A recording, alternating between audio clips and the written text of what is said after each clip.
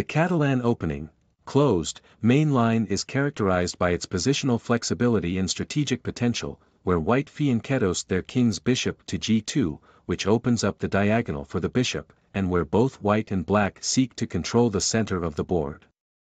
White can try to build a pawn center with d4 and c4, while black can try to create outposts with d5 and e6. This flexibility makes it a challenging opening to master, but it also makes it a very rewarding one to play.